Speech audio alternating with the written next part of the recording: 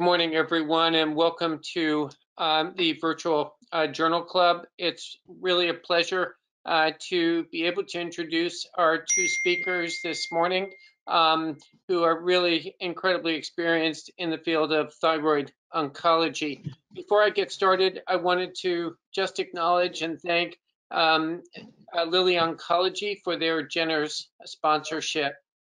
Our uh, presenter this morning is Dr. Frank Worden um, who came to medicine through a little bit of an atypical course, having um, started as a registered pharmacist and then going back to complete his medical training um, in medicine and pediatrics, and then following that with a med-onc uh, hematology fellowship at the University of Michigan. Um, he has remained on uh, faculty since 2000 um, as a a member of the University of Michigan Rogel Cancer Center, where he um, currently works as a clinical investigator with both um, an interest in head neck oncology as well as uh, lung cancer and um, endocrine neoplasia. And so uh, I want to thank uh, Dr. Worden for his um, for agreeing to present this morning. And this morning's discussant, for those of us who um, are in the tri-state area really needs no introduction. Dr. Eric Sherman is an associate attending at Memorial Sloan Kettering Cancer Center. In um, he is on the head and neck solid tumor service and has special um, interest and expertise in thyroid and other head and neck cancers, um, with uh, um, an emphasis on working in clinical and translational research. He is well known to all of us who uh, see the worst of the worst in thyroid cancer and um, appreciate his efforts in helping that uh, unfortunate population of patients. And so with that, I'm going to turn this over to Dr. Worden. Um, and uh, uh, Frank, go right ahead here. Okay, thank you, Mark.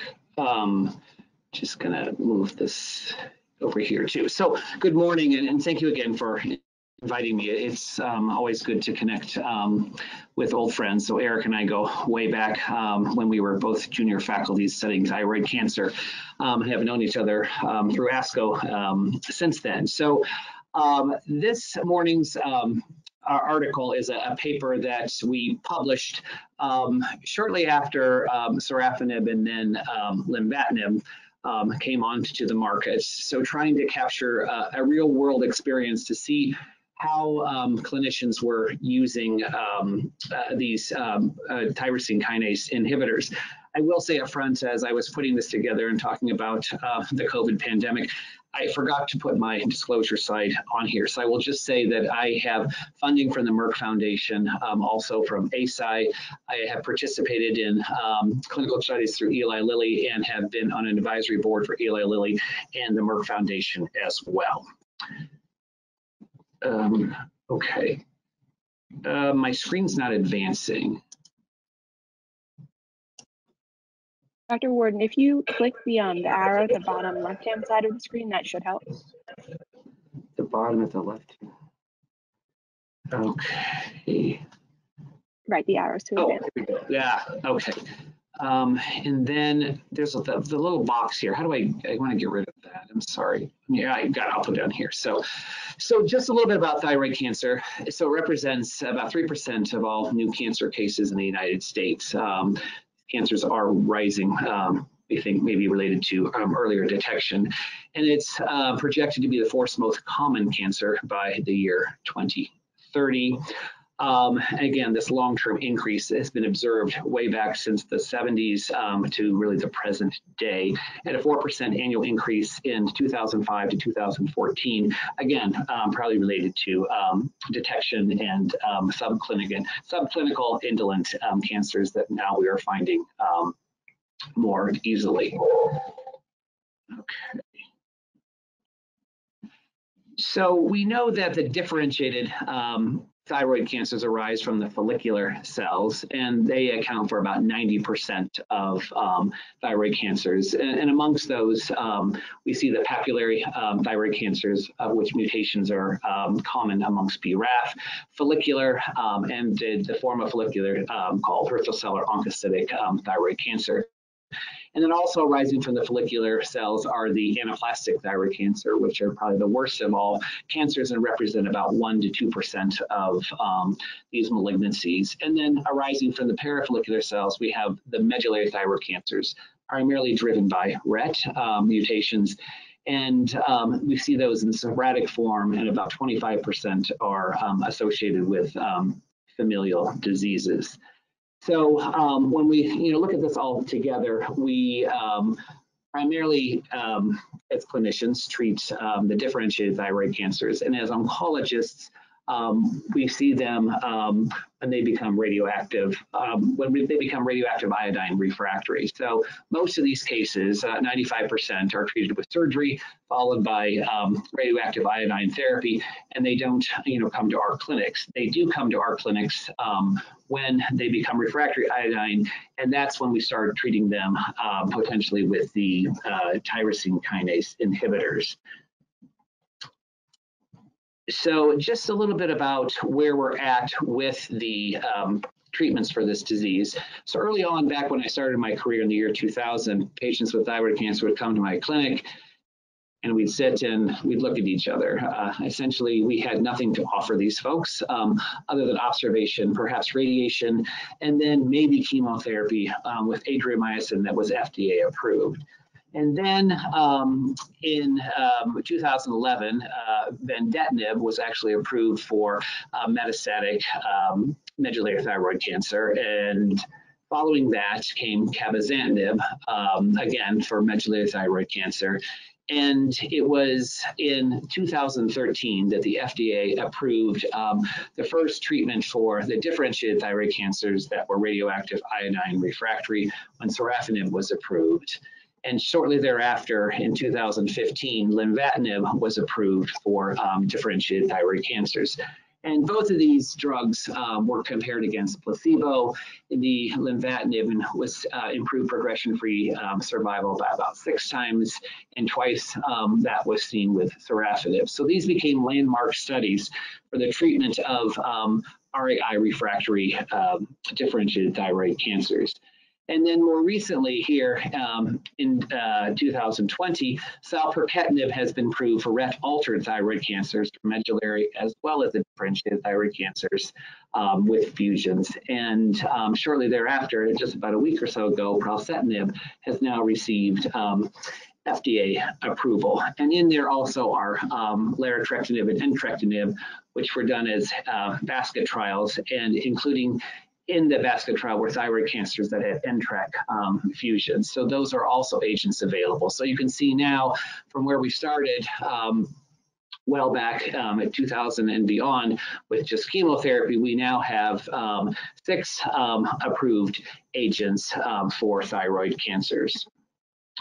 So looking at this study, um, our aims were to look at the clinical benefit in the second line um, with these small molecule inhibitors, suggesting that we could get a benefit if we treat um, beyond using sorafenib or perhaps lenvatinib. The question is we just really didn't know. We do not have good sequencing data as we do in other cancers such as renal cell carcinoma where we know we can start with axitinib perhaps then go to um, cabozantinib as defined first and second line um, strategies. So studies were conducted prior to the commercial availability of lenvatinib in 2015, and most were single-site investigations. Overall study aim was to provide a more contemporary assessment of these small molecule inhibitors, and a national administrative claims database was used to examine the real-world prescribing patterns amongst patients who initiated um, therapy using the NCCN guidelines um, as a way of selecting therapies. So what we measured, baseline characteristics were determined during a three-month pre-index period um, examined by the use of these um, tyrosine kinase inhibitors as frontline therapy, looking at age, gender, insurance plan, prescriber, et cetera. And the first line began on the index date, which was the date of the first prescription fill for the recommended um, SMKI. And the first lot ended at the earliest of one, the addition or substitution of a new agent, um, a small molecule kinase inhibitor treatment discontinuation defined as a gap of greater than 60 days after the prescription runs out. Um, three, was death, or four, disenrollment from the health plan study um, to the end date. And then finally, the start of the second line of therapy and subsequent lines of therapy were defined as the addition or substitution of a new agent after the end of the first line of therapy. So this is basically the study design and data or in the data sources. So again, we have have two of these non-diagnostic medical claims for thyroid cancer, at least 30 days apart. So we started out with um, a little over 50,000 um, patients in general. And then when we had greater than one um, or equal to one claim um, through the pharmacy of these NCCN recommended tyrosine kinase inhibitors for thyroid cancer, we came down to a number of uh, 295 patients. When we looked at age and then continuous health plan enrollment for at least greater than three months, was 239 patients, and then continuous health plan enrollment for at least one month or greater, and then finally um, evaluating for no pharmacy claims for these um, agents during the baseline period left us with 217 patients. So 13 and a half million would have private insurance. And in 2014, 89% of US residents um, were insured. And inpatient, outpatient um, database claims, we use the ICD, uh, ICD-9 coding and CPT coding um, primarily um, to identify these patients and prescriptions. And outpatient um, pharmacy claims included national drug codes. And finally, the recommended NCCN agents are axitinib, cabozantinib, everolimus, lenvatinib, pazopanib, sorafenib, sunitinib, and vandetanib. So what we weren't able to do is actually tell you if a patient was receiving a drug for medullary thyroid cancer or for a differentiated thyroid cancer, and we could not identify who the patients were. So there wasn't any um, issues related to um, HIPAA compliance. And so kind of looking at the selection process um, graphically here, you can see the three month um, baseline uh, with thyroid cancer and no treatment, and then the start of the first line um, therapy, and then moving on to the second line therapy, and then the third line therapy with follow up thereafter. So the statistics for this study, so the difference between the line of therapy uh, regimen cohorts for baseline characteristics, duration of follow-up, and line of therapy duration were examined by ANOVA test, um, continuous variables, and chi-square test for categorical variables. And the time to discontinuation for these tyrosine kinase regimens in um, one, two, and three um, was estimated by the Kaplan-Meier method to account for um, the um, the treatment regimen um, censoring cohort differences um, were assessed then by um, a log rank test. So this is the patient characteristics. So this is a you know, relatively busy slide. So I tried to contain most of the slides, but this one I put up here showing that the majority of the patients were female patients. Um, you can see that the mean age was in the 60s, which is what we um, pretty much expect. Um, and we can see that patients um, where they varied um, with um, commercial insurance or not, or having Medicare that was involved. We looked at the um, comorbidity index scores, as well as the prescribing clinicians, which was interesting to see here that the highest number of those who are prescribing these medications were actually the endocrinologists and not necessarily um, the medical oncologists. So summarizing the results then, um, the mean duration of follow-up was about 500 days and about 36% of patients received a second line um, of therapy or later. And amongst those um, with greater than 12 month follow up after the first line of therapy, about 53% went on to receive a, a second line of therapy. And the median treat, uh, duration of treatment was about five months um, for the first line of therapy and about five months for the second line of therapy. Um, over the entire follow-up period from 2010 to 2016, sorafenib was the most common regimen, as we would expect, since this drug was um, approved first in the first line of therapy, as well as in the second line of therapy. And then sunitinib and lenvatinib um, in the first line of therapy. Um, sunitinib um, in the second line of therapy, you can see at 13% um, and then 19%. And then starting in 2015, when lenvatinib was FDA approved, lenvatinib became the most common first line regimen as we would um, expect we know that the response rates for lenvatinib are much higher at 62% versus 12% with sorafenib. And again, looking at the progression-free survival that we talked about, it wasn't surprising that there was a shift using this um, agent.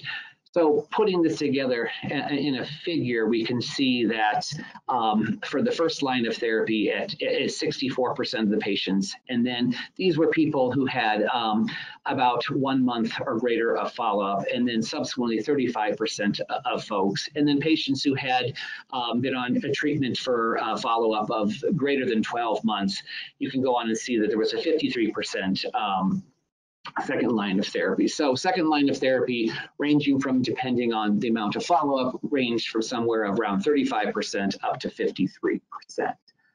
So if we look at um, patients who are receiving, you know, lines of therapy in the front line as well as the second line, overall what this, this busy um, graph or slide will tell you is that sorafenib was primarily used. And as you can see in the 2015-2016, when lenvatinib became available, we see the shift in the first line therapy to um, lenvatinib. And similarly, in the second line of therapy, the agent overall most prescribed was um, sorafenib.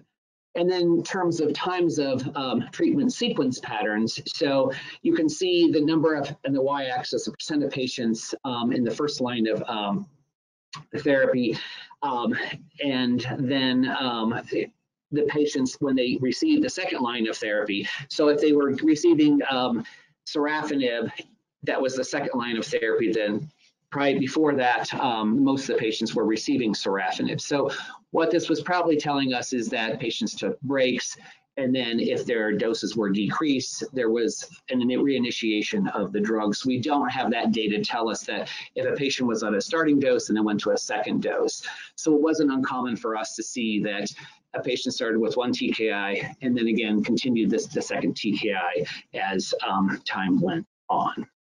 So in conclusion, sorafenib was the most common first line agent during the uh, initiation um, from 10,000 or 2010 to 2014, but was supplanted by lenvatinib started in 2015, uh, again, based on these FDA approvals and efficacies of these drugs.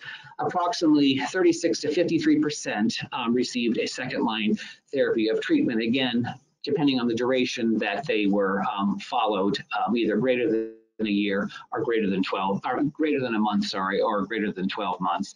And the median treatment duration um, results suggested a potential benefit with these small molecule kinase inhibitors in the second line therapy. And small molecule kinase treatment after the first line failure may be considered appropriately uh, appropriate for a select number of patients. So I think the data here tells us that yes, um, we as practicing clinicians and those who treat thyroid cancers will move on to another tyrosine kinase inhibitor when one fails. What we don't have, um, again, is an exact sequencing about which drug is best to start with and which drug should be continued after that. So some points to consider as before I turn it over here to Eric is that um, uh, this was a retrospective analysis, obviously, and so when we do retrospective studies, they are in general hypothesis generating. Um, and currently, lenvatinib is most likely to be used, as we just talked about, um, as first and probably second line therapies of treatment.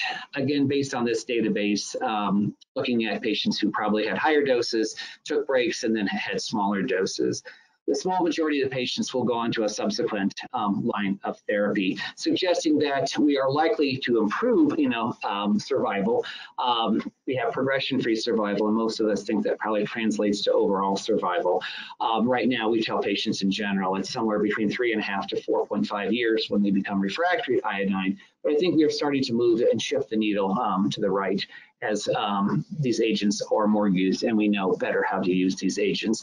And again, as I mentioned earlier, ideal sequencing of these um, tyrosine kinase inhibitors remains to be determined.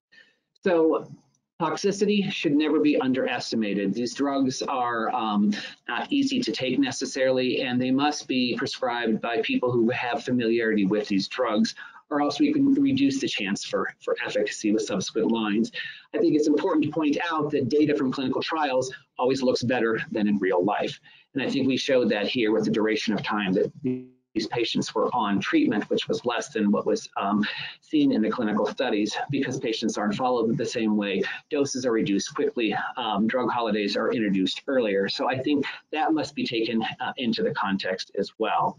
Um, there probably are benefits to drug holidays, but we need to study that better, where um, patients are scheduled with a drug holiday versus treating them to a point where they have to stop, and then it's harder to initiate treatment because their performance statuses have deteriorated. So so rapidly and um, prolonged and are prolonged.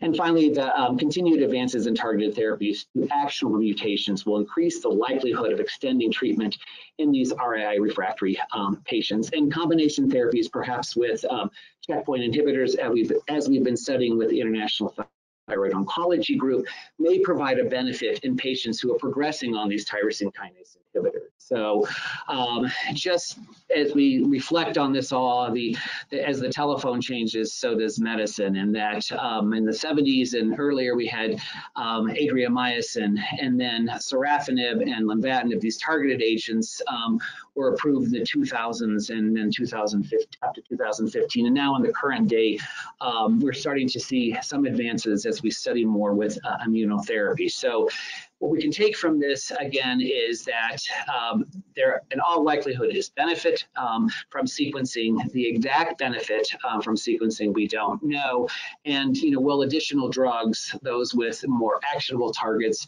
or agents such as immunotherapy added to these um, drugs, add particular benefit where we can see um, know, longer durations of therapy and perhaps improvements in survival. So I will stop there and um, turn it over to Eric.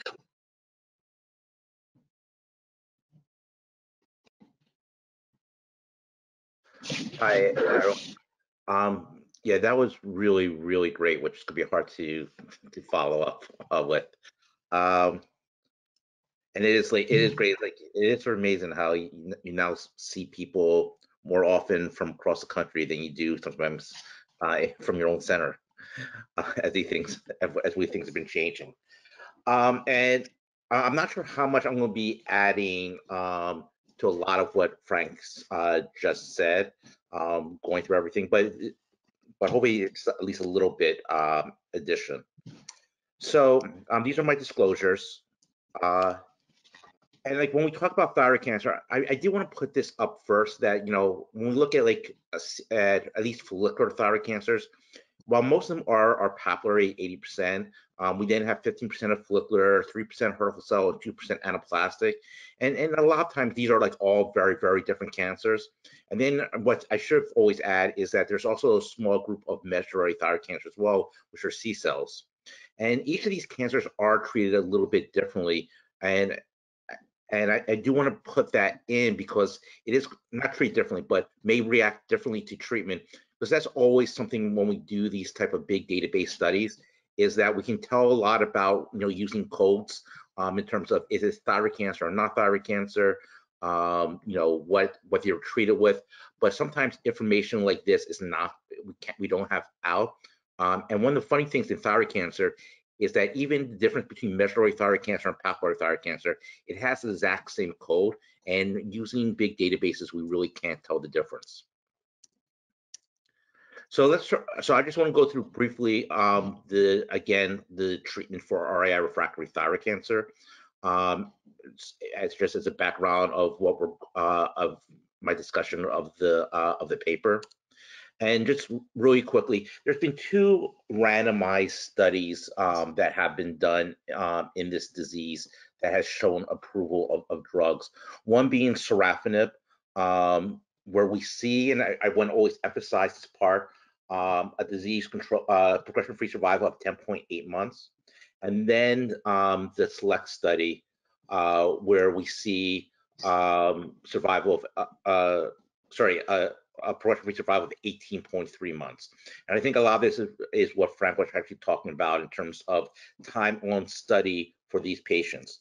We know in the clinical studies that uh, that a lot of people do come off treatment for SAEs that are related to drug.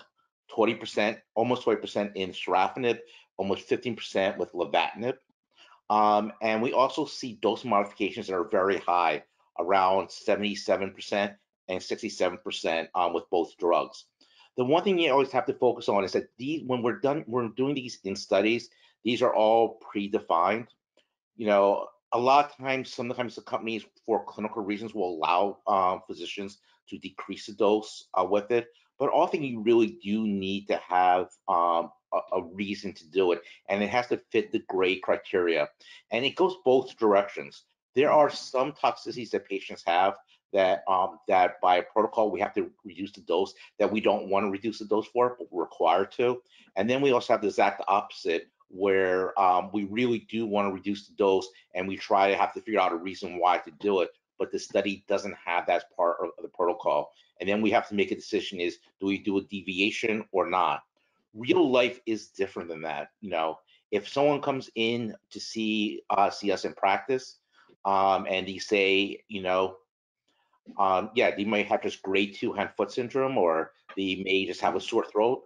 Uh, but they say like, you know, as an example, a patient I had that was a, um, a lawyer early on um, when this drug first came out. For him, hoarseness of voice was a big deal because he was a lawyer and, and, this was his job and it affected him. And that alone was a reason that we would decrease the dose of the drug. But um, a clinical study wouldn't wouldn't require and wouldn't and actually almost wouldn't allow it without it being a deviation we have to decide how far we would go on a study. But in real life, we make those adjustments differently. Um, the other thing, of course, also is we always start at the top dose and go down. In real life, we're seeing more and more people, especially with like lenvatinib, start at lower doses. And starting lower doses may definitely be a lot less effective. Same thing with sorafenib. Um, and there actually has been a randomized study with lenvatinib at two different starting doses showing starting at a lower dose leads to uh, worse outcomes. When we look at like the final outcome with each one, you can see with lenvatinib that um, the data really looks fantastic. And the question always is, with the data that looks so good compared to what we saw with sorafenib, why do we not always just start with it right away? And we can see with um, study is that this study showed in the second line setting that lenvatinib does work and works almost just as well as it does in the first line. There is nothing else during the time frame of this study of anything showing um, a benefit in the second line setting. So anything outside of lenvatinib, we don't, we didn't have any of that data really like available, and almost all the data we had was was in the first line. So if we did it, so if we do anything that's not lenvatinib with it, we're doing something that we don't have as, as much evidence with. Now today's time, we do have some data with cabozantinib in the second line, um, showing um, showing good activity. But really, until the uh, until the cabozantinib data, this was really the only data um, with second line setting there on phase two studies, NCA guidelines have a lot of depending approved um, drugs. So while there, we only have two FDA approved drugs, it is important to notice that we have a lot of drugs available in the United States to use. Axitinib, cabozantinib, sorafenib, sunitinib, and vandetanib. All were approved for, um, this is actually for follicular cell thyroid cancers. So even, so we can easily get any of these drugs as well as, as was we get FDA approved drugs without any problems. So when it comes time to make a decision in real life, we have to always make a, decision is do we go first with an FDA approved drug or do we think that these data with these other drugs may be as good that we would prefer to go with this approach even though they have none of these study drugs except for vandetanib has gone through a randomized study. The interesting part is while vandetanib has gone through a randomized study against placebo, that actually was a negative study yet this one still is available um, for this setting. Medullary thyroid cancer, um, back at this time, is a similar situation where there's been two, there was two randomized studies that have um, that led to FDA approval of drugs. One is being vandetanib against placebo. This was an interesting study in the fact that you did not require progression um, to get onto the study. And because you did not require progression, you see that even the placebo arm does extremely well. But here we can see that vandetanib actually has an extremely long progression-free survival. Not even reached, but the placebo was 19.3 months.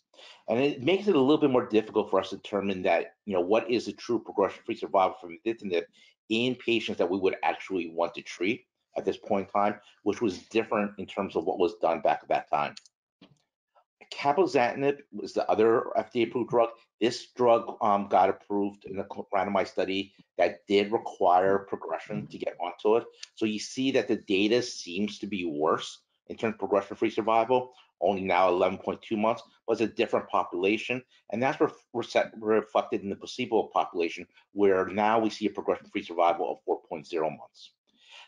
Neither of these drugs have ever been looked at against each other. It is notable that the cabozantinib study also allowed prior vandetanib. So for medullary thyroid cancer, there was definitely there is data um, suggesting that there is still benefit in using cabozantinib after vindictinib although it's not, you know, that was a much smaller number than we saw with like the lenvatinib study in follicular cell thyroid cancer. So let's go on to um, the study that we're discussing Journal Club today by Byfield. So this is a retrospective study using claims data between January 1st, 2010 and May 31st, 2016. What's important about this is stuff that actually um, Dr. Worden has already uh, presented. Lenvatinib was not approved in 2015, and actually this even covered a period of time when sorafenib was not approved for, for thyroid cancer at all. During this period of time, cabozantinib and vandetanib were approved for uh, for medullary. So these were also things that got approved in the middle of this study. There's 217 patients, which is not a, like a very large amount. Sometimes when we do these big claims data, we want to see um, you know, one of the big advantages you can get much higher numbers than you get in like the clinical trials. And the attempts were to really evaluate time on treatment and second line um, therapy for thyroid cancer patients. It is important to note that only thing that can be looked at is the time on treatment, not progression-free survival. So this is a different outcome, although a more important outcome that reflects what happens in real life than a progression-free survival. It means you could take people off before they have RECIST progression, and you could take people off well after they get RECIST progression, and that is not reflected in that in the final outcome. The study seems to include all thyroid cancers, including both medullary and anaplastic, and this does make it a little bit more difficult to, to interpret when you're looking at what's going on with each of these drugs, because both of these drugs had different approvals during this period of time, and both had drugs that were able to be used in either setting. So you're looking at drugs that could be used either in medullary or follicular cell and not sometimes be able to tell the differences which case it was used on, especially since each one will have actually sometimes different outcomes. Big example is vandetanib, which is very effective in medullary thyroid cancer, but really has not been suggested to be that um, that beneficial in follicular cell thyroid cancers. Um, yet we're able to be used um, in either setting. So let's look at like these the outcomes that are there. Um, what this is shown that is um, in patients who are in what they get in the uh, first, second, third, or fourth, or sorry, patients either got first one line, two lines, three line, or four lines of therapy. It's either somewhere between 35.5 and 53.1% of reality of who gets second line therapy. The, uh, the investigators did a very good job in looking at this analysis in two different ways. One is looking for patients who just who had at least one month of follow-up, but the other one is looking for patients with 12 months of follow-up. Why is this important? Well, you don't know if after if they're on if you don't have 12 months of follow-up, then maybe you're just not following them to the point where they could get to the to the second line. That maybe either for reasons um, you know that claims data wasn't able to to get that change in insurance, change other reasons, maybe getting the drug in second line because for, for other purposes, and that can, and that might not be able to be reflected on this. The other thing that we'll be missing a little bit is who's getting second line based on a clinical trial, because that's not always that's not going to be picked up on claims data either. So you so you don't know exactly where as that real number like exists with it and whether you know because other the other thing is that 12 months might miss patients who just didn't get the second line um, because they actually died. Um, so there may be other reasons why they couldn't get to the 12 month period, and maybe the 35.5% is more reality. So we think that it's going to be somewhere in that range, but we don't know exactly where it is. Why is this important about it? Well, I mean, two reasons. One is we always, at least I always think when I think of thyroid cancer, as in the way I describe it to most patients, is that um, their disease is more like a marathon, not a sprint that thyroid cancer is not a cancer that is um, often, although sometimes it is, but not always as aggressive as a like a, a pancreatic cancer or a lung cancer. And um, it's easier to get in our, for my own world, in Frank's world, head and neck squamous cell carcinoma. And it's easier, we think, to get to second and third line. The question is, is it really easier? Just because we think it's easier, it doesn't mean in reality that's really what the case is. And why? So why is that important? Well, the data from lenvatinib, as we talked about, is that it shows it works pretty equally in the first line and the second line. If we're only going to get to one line treatment, we want our best drug right here in the first line. If we are going to be able to get to four lines of therapy, well, then we need to really think how are we going to sequence the drugs? What is the best way to go from one drug to another? You know, do certain drugs work better in the second line than other drugs? Do other drugs work better in the first line? And a lot of this really takes will take be taken into account. If we could only get 30, in reality, 35% of people with the second line, well, then we need to be a lot more aggressive in the first line. If we were able to get, let's say, 100% people to the second line, well, then, like I said, we need to think about how we sequence these uh, these drugs a lot better in order to make sure we optimize the long-term care of the patients than going right away to just you know the best drug and maybe losing um, the, effect, the effect, efficacy of the second, third, and fourth line. So let's let's look at what the data ends up actually showing. What we're seeing is, is that the median time on um, treatment for a drug like sorafenib is 2.8 months. As we saw from the clinical trial, it says 10.8 months. This is these patients are on it for a much, much, much shorter period of time than we than we expected.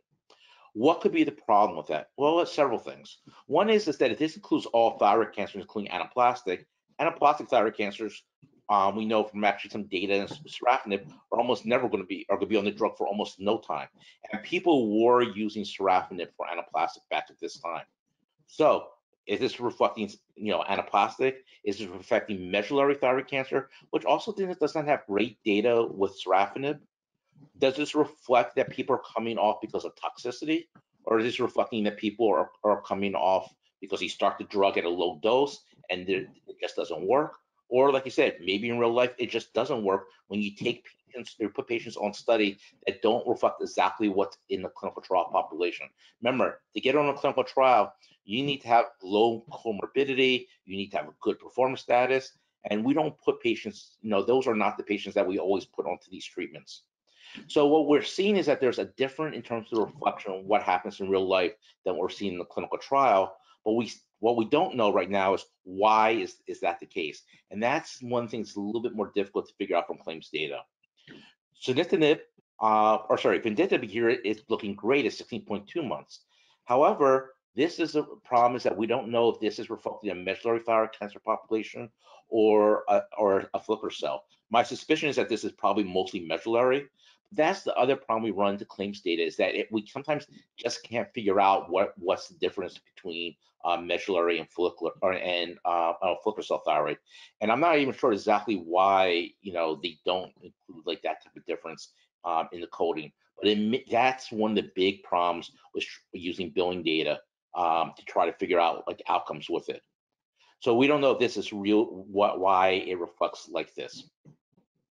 The other thing we do see is that during this period of time, while sorafenib was probably, I think we all agree, the most studied drug during this time, it was approved uh, for a good period during this uh, the time that studied. You only see, um, well, it definitely, and it also is definitely the one that's most used to start off with. It definitely is not like the the top uh, drug that, sorry, not top drug. It is not the only drug that's used. Lenvatinib, we don't know how much of that reflect. Well, we do know this really does reflect just period of time when it was um, when it was FDA approved, but we do not know is what the total numbers for that small um, group of things. And what we do see is that people also were more than willing to start with sunitinib, um, Vandetanib, and Pazopanib, as well as other drugs as well. So people are not just always following maybe the FDA approved, at least with sunitinib, Pazopanib, and other. So we do see is that just because we have these FDA approved indications, people are picking uh, drugs sometimes based on what they think is the best drug, whether it's because of toxicity or whether because they think the efficacy data might be better, despite the fact that it doesn't have as strong as data, or uh, but there is also a group of people that is are picking it maybe because of the FDA approved indication of the drug. Second line becomes very tricky during this period of time because, as I said, during this period of time, we did not have data of second line treatment with the exception of lenvatinib, and that was only during the last year that, that the study was evaluated. So what does this tell us? Well, one thing it tells us is that um, everyone is, uh, uh, sorry, the one thing we also have a little bit of, was cabozantinib um, data as well for medullary thyroid cancer, although that's the assumption that maybe this was just medullary. What this list tells us is that people are willing to use second line therapy. Not everyone's willing to use it, but people are willing to go off uh, what might be like an FDA approved indi uh, indication or something where there's actually no evidence to support using it with the idea that maybe people are going to have a benefit. And there was really a lack of other stuff in thyroid, in thyroid cancer. So trying to use something similar does show a benefit. I mean, does does make sense. When we look at the outcomes with it, uh, interestingly, sorafenib looked just as good in the second line. So yeah, about five months. Cabozantinib 8.3, unsure whether that's measurable or, or not. 5.7 for all these other ones. So you do see people on it for well beyond two month period. However, we have no idea why you know these people came off of it. Um, and I've definitely seen um, people stay on second line treatment even longer or beyond progression when the feeling was that there's nothing else available. And you know, if there's nothing else available, let's just keep them on the drug, even though um, it's not working. Um, and we don't know how much of that reflects it or how much reflects that there is activity uh, at this point in time. But we definitely see that people are more than willing to do it. But there's a lot of people who didn't get to the second line, and we don't, and that we don't know is because was there a group of people who just were not willing to do people, I mean physicians, not willing to do second line, or whether the patients were not at the point where clinically they were able to get second line treatment. So let's look at the conclusions of the study and then and then try to figure out what what would be our um, analysis of this. First, sorafenib is the most common first-line drug between 2010 and 2014, but lenvatinib is now becoming more, became the most common almost as soon as, as it got FDA approved. Well, this is always difficult to consider because we have to assume the assumption is that both MTC and ATC patients will be included. And while MTC and ATC might be a very small percentage of all thyroid cancers, when it comes to people being treated on these drugs, their their percentage actually goes up quite a bit. And when we see why people die of disease, um, ATC, while not anywhere near as high as papillary, goes up quite high. Probably indicating these people, when it comes to getting treatment for systemic therapies, will probably lead to a, a higher percentage than what we might think. Same thing with MTC. It also, this is a different era of, of targeted therapies. And, you know, after this time, um, a lot of things that I think Frank already started talking about, and I'm going to talk about quickly, is that there are other drugs that are, are you know, coming around that hits different mutational targets, and those are becoming more and more important. Um, and without, with the exception of only one or two getting FDA approved, um, they are some ones that some people will prefer to use in the front line uh, because uh, of less toxicity. The next thing is that around 36 to 50% of patients receive second line therapy. And while it's important that people are getting it, this is really difficult to tell because we don't know if this is due to the inability to receive second line or lack of options, meaning lack of FDA options. And so we don't know is this, you know, a patient driven or physician driven for uh, for second line on why more people didn't get it. Um, and, and, that and that's just the difficult thing. So we know what happens in real life. The real thing, what we don't know is why is this happening, um, and we don't know if we're missing some things uh, when it comes to claim data because patients are, are switching insurance, um, going to other areas. The last thing is the median treatment uh, uh, duration suggests like there is benefit in the second line. Um, but the study does not measure progression, and we don't know if people are kept on just because they're due to a, a lack of other options. So what we do see is that median time on treatment is not the same as progression-free survival seen in the clinical studies, but what we don't know is why is it different? Is it different because you know people come off earlier because of toxicities, people remain on it longer uh, because of a lack of other options. And these are things that the claim data doesn't let us know the answer to, at least you know at this point in time. but it does give us um, clues into what you know um, what the hypothesis is generating and gives us things about what we might want to look at in the future um, to try to answer that type of question. So what have we learned from all this? Well, one is we know that time on treatment in real life does not reflect what happens in clinical trials. This may be because RECIST is not really important in real life, even though it is important for a study. Toxicities may be either be more important or, or less important. And we don't know how that plays a role in people coming off treatment earlier or people coming off treatment later than, uh, than what happens in the different study. And other options also may, may play a role. So what are other things that patients uh, may be uh, able to get onto um, may uh, play something. If you know, I definitely have had you know, despite the fact that I'm one of those people who's more than willing to go to third, fourth, fifth line treatment, um, despite a lack of data there. I have definitely have seen patients from physicians on the outside who, you know, the patients on second line, second line, they're progressing on second line, and they're saying there's no other option available because they're going like exactly, but you know, which I can easily say is appropriate, but they're going by exactly what's out there in terms of the randomized studies. And they say these are the two FDA approved drugs. If you progress on both those FDA approved drugs, right now we don't have like another option, um, even though there's a number of drugs that are competitively approved. The second we learn about second line treatment. We're unsure if we are willing to try things without evidence or are patients having more difficulty than we assume getting to multiple lines. So like I said, my assumption has always been with my patients is that, yeah, overall, I think I could get almost everyone on second line. Just because I think that I, that's true, it doesn't mean at all that it really is true. Um, and it could be that it, it, really is more difficult to get people on second line than my assumption has always been.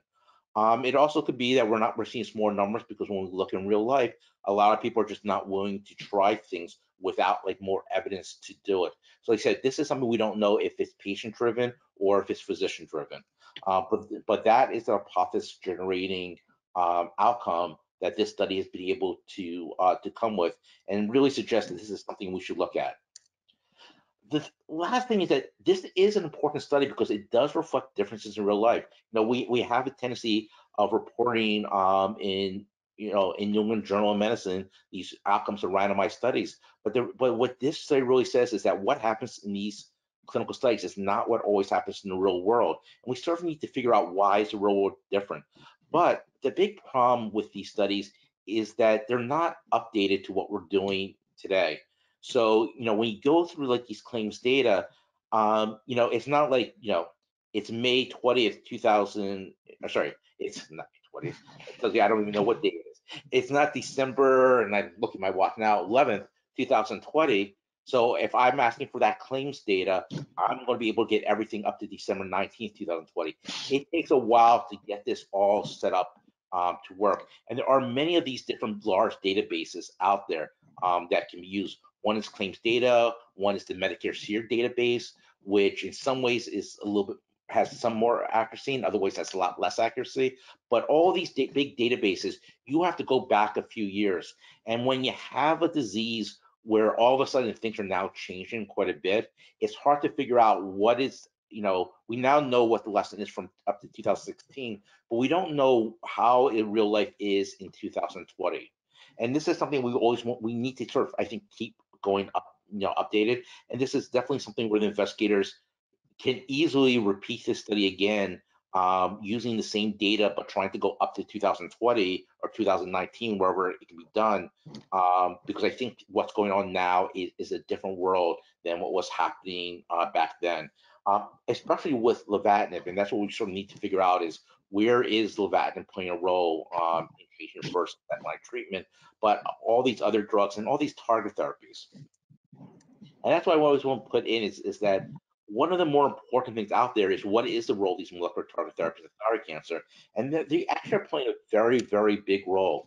You know, thyroid cancer is just focus on everyone is that we have targets. You know, this is not, you know, like my other real world is head and neck squamous cell carcinoma. And head and neck squamous cell carcinoma, yeah, there may be some targets, but they're really rare and they don't really, really a limited number of ones where we have like any type of real option with it. Here, BRAF alone um, is a very high number of papillary thyroid cancers, and that we know we have BRAF target therapies. When you look down at BRAF fusion genes, there are new drugs being studied that, that may target BRAF fusion genes very well. RET fusion and NTRK fusion genes, while a very small percentage, are also things um, that we have new drugs that can really target uh, extremely well. Even these other things out there like um, PTEN, um, K, some of the KRAS um, drugs, uh, HRAS and NRAS uh, slightly.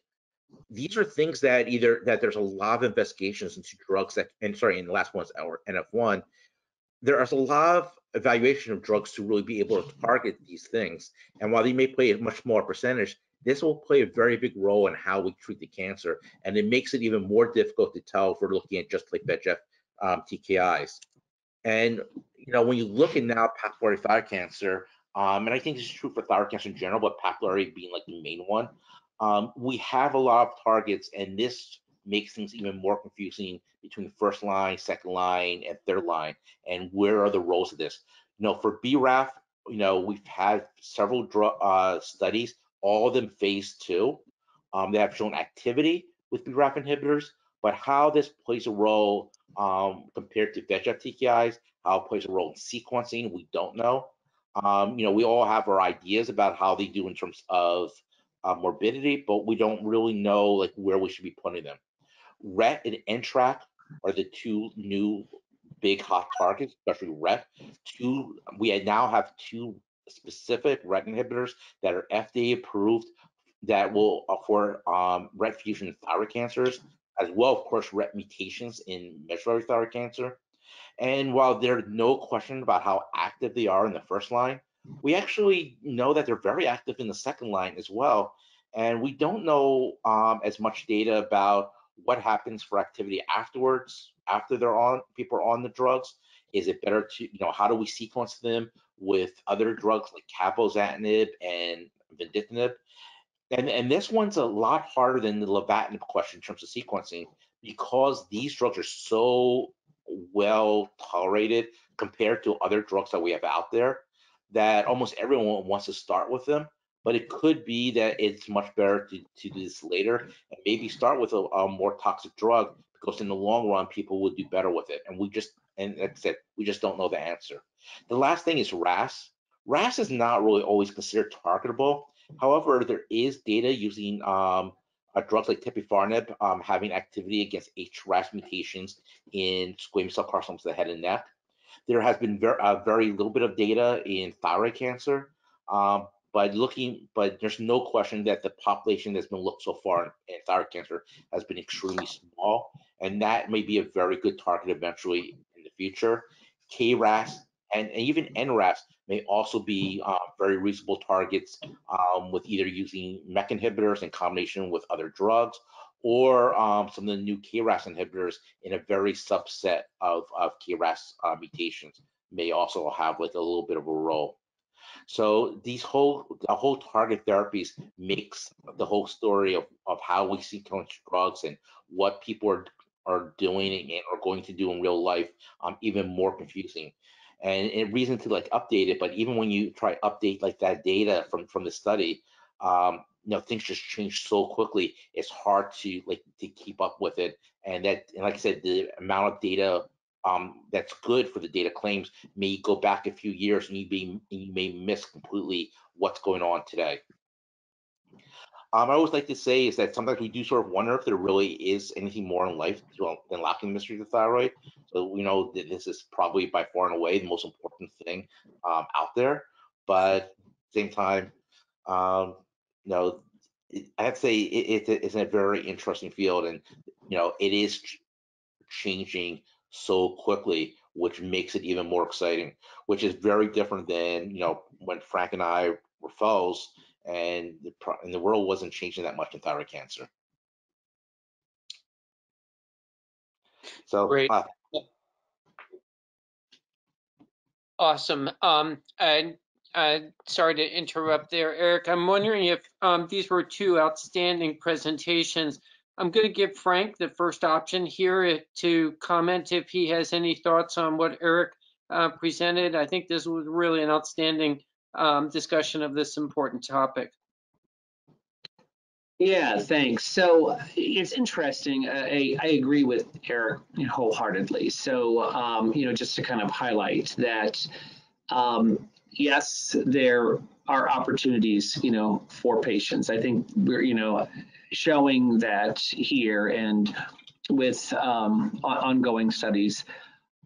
His point about um, selecting the right drug first probably makes the most sense. And looking at the lenvatinib data, for example, if you want to attain a response um, because someone has a large neck mass or is having extremely um, a hard time breathing, um, that may be a good first option. Um, but moving into what he just finished with, maybe it does make sense for us to sequence every patient up front and then start with these targeted therapies. Um, one thing he didn't mention was that the side effect profiles probably are a little more tolerable than these multi-kinase inhibitor side effect profiles. So um, that will be important for us as we continue to move forward in this field to really identify what sequence um, makes sense for you know what patients. So um, as he alluded to, that the field is forever changing, and um, we're lucky that we do have targets to work with in um, this particular cancer as compared to, to other cancers. Thank you. Um, so maybe if both of you could comment um, at this point in time, if you have a specific target um, that is actionable, what is what do you do? What are you doing um, in December 2020 when you're facing a RAI refractory patient? Are you going with um, one of uh, the small mole uh, molecule kinase inhibitors, or do you are you is that your first target, your first um, line of defense um, or offense? Um, and are you considering combination therapy at this point with um, SMKI and a specific targeted treatment? Um, I guess I can go first. So um, my belief is that all these patients who, show up with the iodine refractory thyroid cancers should be sequenced um, because we do have these uh, approved drugs. So my preference would be if I find a RET fusion, for example, in a papillary thyroid cancer, that I would start with um, pralsetinib or selpercatinib um, first. Interestingly, um, having used these drugs on these clinical trials and then crossing over when one failed, um, there may be benefit from going from one RET inhibitor to another one. Uh, personally, I think, as I alluded to earlier, that the toxicity profiles are better since you're targeting one kinase versus um, multiple kinases, which lead to more fatigue, issues with hypertension, proteinuria, et cetera.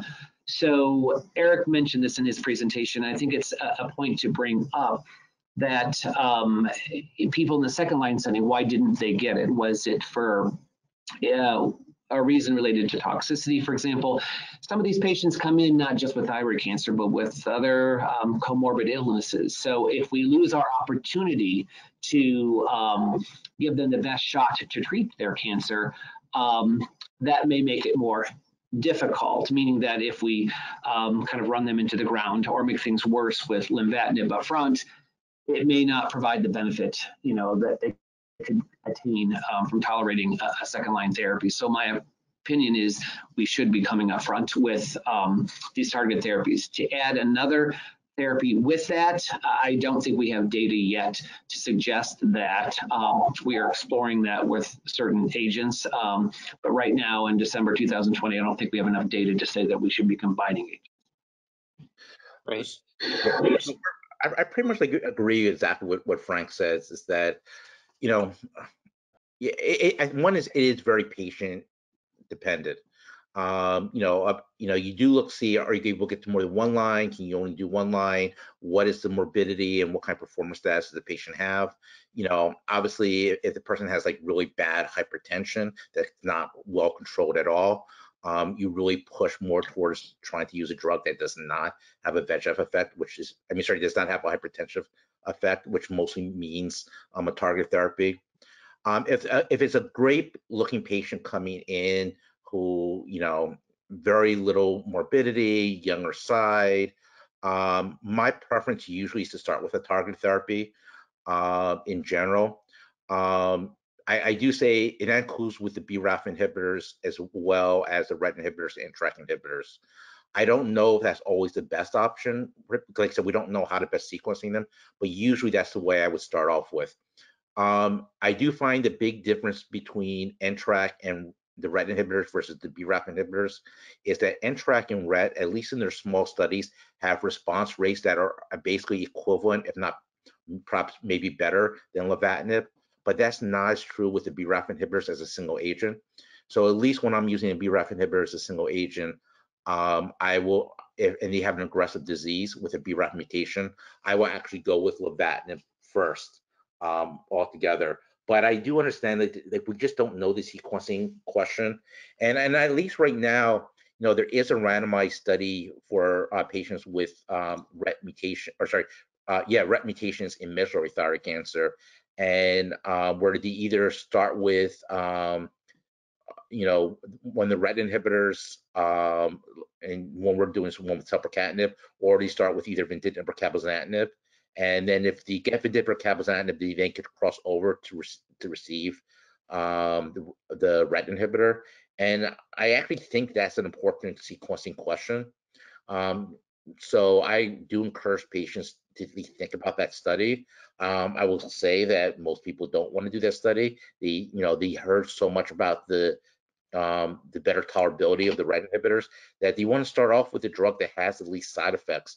And in some ways, that's more important to the patient uh, with thyroid cancer, at least from my experience, um, than than even efficacy. Sometimes efficacy is is more important, but more likely than not in the differentiated world, the um, I find more patients really want to have something that they will be able to tolerate.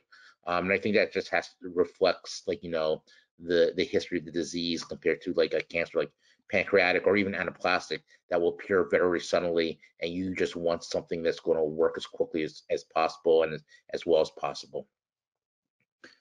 Terrific. Um, I apologize I, uh, to our attendants, um, attendees and to our speakers. Unfortunately, we are pushing uh, the nine o'clock hour. Um, so I, I can't thank um, uh, Dr. Worden and Dr. Sherman enough for their really outstanding discussion of this really important topic. I think we could go on for at least another hour with the questions, um, but unfortunately unable to do so.